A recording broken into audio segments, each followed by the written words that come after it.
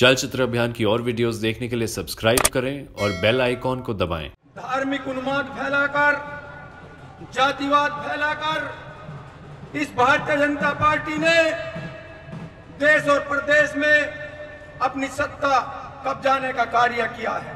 जितना भ्रष्टाचार इन आठ सालों में फैला है सत्तर पैंसठ साल में कभी नहीं फैला। ये इस किसान और मजदूर को तबाह करना चाहते हैं, बर्बाद करना चाहते हैं। आसीन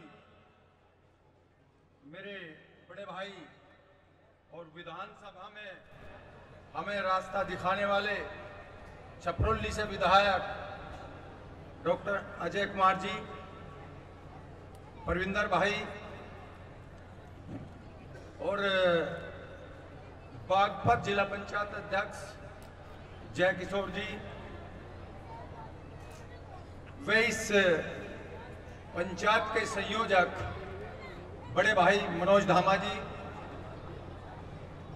सम्मानित मंच व देवतुल्य लोने की, लोनी के कार्यकर्ताओं लोकदल के कार्यकर्ताओं, मातृशक्ति। सबसे पहले तो मैं एक नारा आप लोगों से लगवाना चाहता हूँ। स्वर्गीय चौधरी चरण सिंह स्वर्गीय चौधरी चरण सिंह।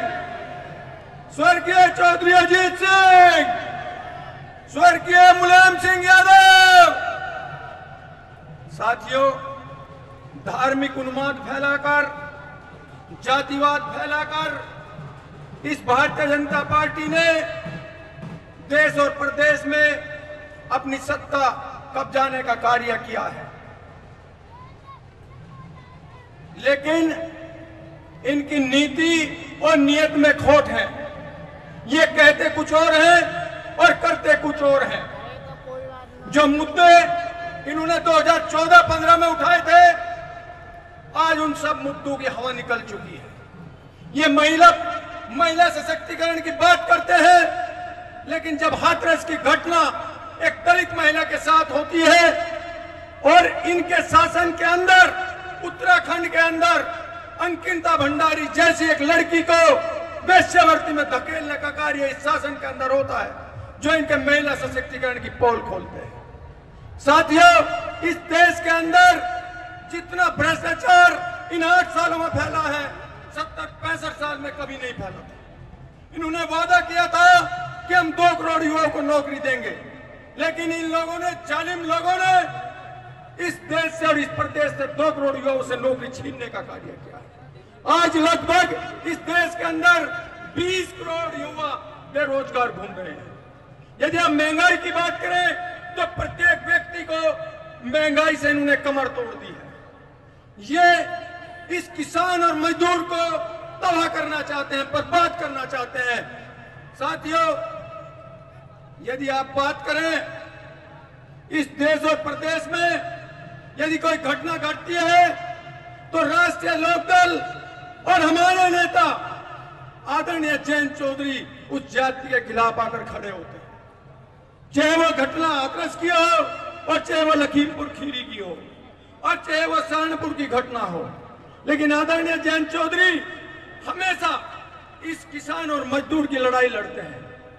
मैं आज इस मंच से अपने बड़े भाई मनोज धामा जी का बहुत बहुत स्वागत करता हूँ। बहुत बहुत धन्यवाद करता हूँ। क्योंकि इन्होंने एक आदरणीय जैन चौधरी से प्रेरणा लेकर और एक संकल्प किया है कि शुरुआत जो हमें बाबा अंबेडकर जी ने हथियार दिया है, उस हथियार की शुरुआत और इस बीजेपी को उखाड़ने की शुरुआत, क्यों ना हम नगर पालिका नगर पंचायत और नगर चेयरमैन लोनी से ही करेंगे। यह संकल्प मेरे बड़े भाई मनोज धामा जी का है।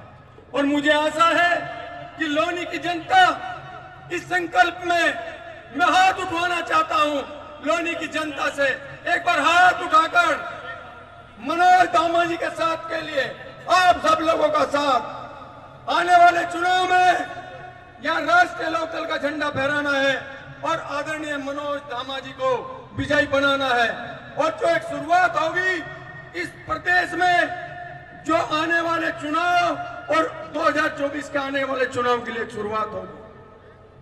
साथियों, मैं अपनी वाणी को विराम देने से पहले आप सब लोगों का धन्यवाद करता हूँ कि जैसी हमें आशा थी कि भाई मनोज धामा जी आज एक जनसभा कर रहे हैं और इसमें इतने व्यक्ति होंगे तो उससे भी ज़्यादा यहाँ पर आदमी पहुँचे हैं। इसके लिए मैं उनका बहुत बहुत धन्यवाद और इस जनता का बहुत बहुत धन्यवाद करता हूँ। जय हिंद जय भारत और जय राष्ट्र मैं डॉक्टर मिथिलेश जी।